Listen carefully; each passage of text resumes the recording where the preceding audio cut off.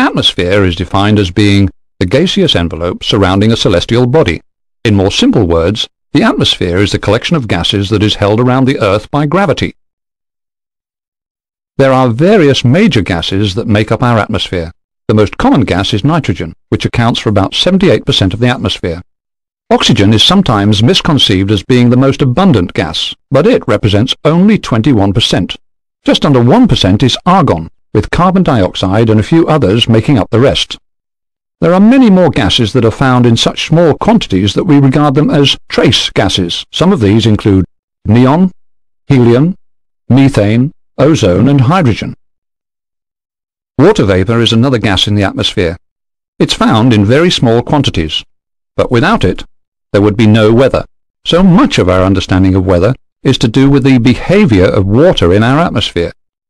It can become visual to us in many ways, such as clouds, rain, snow, hail, frost, and so on. The relative amounts of the gases stays fairly constant up to about 60 kilometers above the Earth. Thereafter, gravitational separation alters the composition of the atmosphere. However, there are other changes, primarily in temperature, that allow us to structure the atmosphere into segments. The first of these segments, or layers, is called the troposphere. This layer is closest to the Earth, and its defining characteristic is the marked decrease in temperature with height throughout the layer. Where the temperature no longer decreases with height defines the upper part of the troposphere. This upper boundary we call the tropopause. Here, temperature is constant with altitude. The thickness of the troposphere, and therefore the height of the tropopause, is not constant across the Earth. Over the poles, the height of the tropopause is about 8 kilometers, whereas over the equator, it's about 16 kilometers. The average height is 11 kilometers, which is found at about 45 degrees latitude. What controls the height of the tropopause is the general temperature of the troposphere. As a general rule, the colder the troposphere, the lower the tropopause, and vice versa. The extremes of this are demonstrated very well over the poles and the equator. It follows that when the troposphere is at its coolest, i.e. over the poles in winter, then the tropopause would be at its lowest. However, there are places where the tropopause folds or breaks. This is where we find a significant difference in the temperature in the troposphere, and therefore a significant tropopause altitude change. The first of these is at about 40 degrees latitude. The warm air circulating from the equator meets much cooler air circulating from mid-latitudes. This temperature difference in the troposphere causes a height change of the tropopause. The second tropopause break is at higher latitudes of about 55 degrees, where polar air meets tropical air. This happens along the polar front, which we'll talk about much later on. Again, there's enough of a temperature difference within the troposphere to cause a tropopause height change. The last of the tropopause breaks occurs at even higher latitudes, and is evident mainly in the northern hemisphere and in winter. This is where very cold Arctic air meets less cold polar air. It occurs typically at about 60 to 70 degrees latitude. The temperature difference here is also enough to cause another tropopause fold or break. If we know that temperature decreases with height, then it follows that the closer the tropopause is to the Earth, the warmer it will be. Over the poles, the tropopause temperature is about minus 50 degrees Celsius, and over the equator it's minus 80 degrees Celsius. As we can see, at the tropopause, temperature increases with latitude. Of course, this is the opposite from what happens at the surface, where temperature decreases with latitude. Why is the tropopause so important to us? Well, the tropopause signifies the start of a marked temperature inversion. This effectively limits the vertical movement of air and clouds within our atmosphere. It's useful to know, then, that the tropopause usually signifies the limit of cloud development. However, the tropopause does tell us other things. As a result of very low densities in the upper atmosphere, the upper winds tend to be very strong, and in some cases form narrow bands. These are called jet streams. These in themselves can be beneficial if our flight goes in the same direction. But with these jet streams there is a likelihood of significant turbulence, We call this clear air turbulence, or CAT. Having discussed the troposphere and its upper boundary, the tropopause, we'll now look at the next layer in the atmosphere, called the stratosphere. The stratosphere extends from the tropopause up to about 50 kilometers above the Earth's surface. The temperature structure of the stratosphere is dominated by the presence of ozone. Ozone is formed when solar radiation splits oxygen into its two individual atoms. These are then free to combine with others to form the gas ozone. This process releases energy into the surrounding air, and therefore heats up the part of the atmosphere where ozone can be found. Concentrations of ozone are at a maximum at around 20 to 25 kilometers above the Earth's surface. Due to latitude effects and the depletion of ozone during the polar winter, the temperature through this part of the stratosphere can vary from minus 30 to plus 20 degrees Celsius annually. Superimposed on the Earth is a colour representation of ozone depletion. The purple area over Antarctica is showing where we have the greatest amount of depletion. This is due to a number of reasons, and the discussion of this is outside the scope of this lesson. Where the temperature starts to fall again signifies the top of the stratosphere and marks its upper boundary. This boundary is called the stratopause.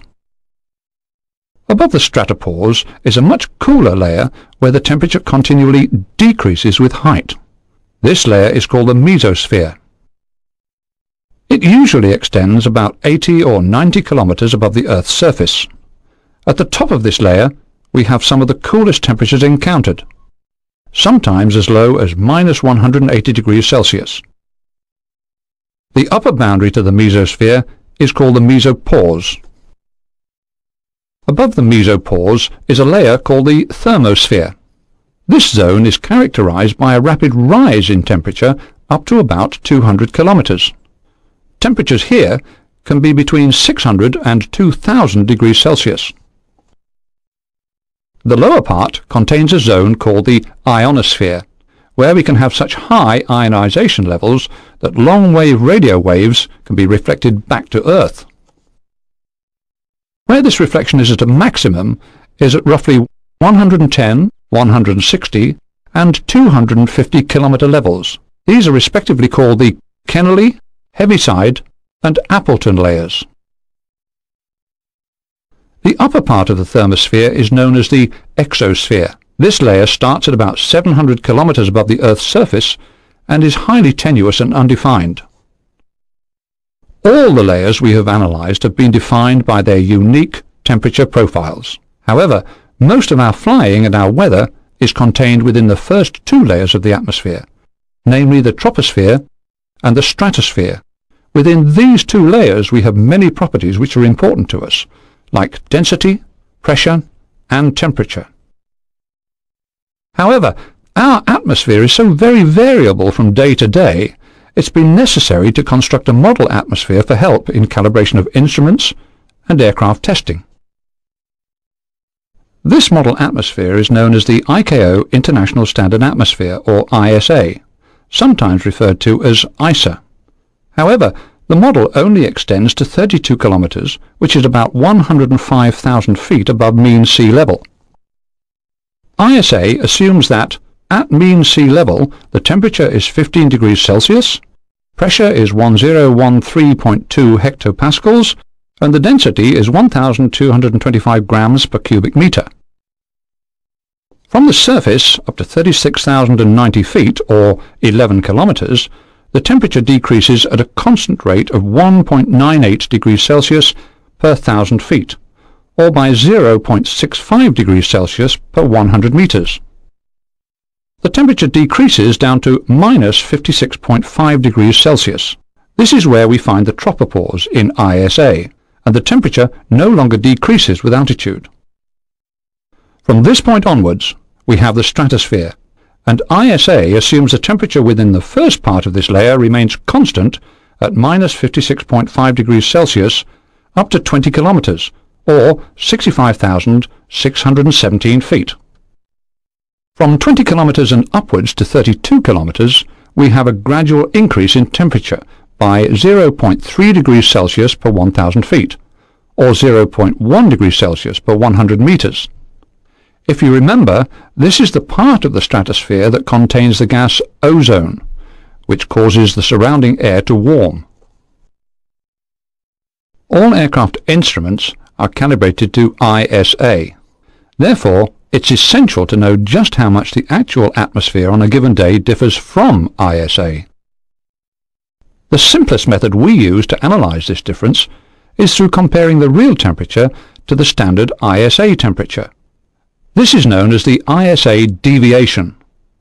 In other words, how much the real atmosphere deviates from the standard atmosphere. In the diagram, we can see that at an airfield 1,000 feet above sea level, the ISA temperature should be 13.02 degrees Celsius, but the actual temperature is 20 degrees Celsius, which is much hotter than the standard. We need to calculate how much hotter than ISA the real atmosphere is. A simple mathematical calculation shows that the atmosphere is 6.98 degrees Celsius hotter than ISA. The representation of this information is important. The best way to understand it is by reading the ISA deviation backwards. We can say that the real atmosphere is 6.98 degrees Celsius hotter than ISA.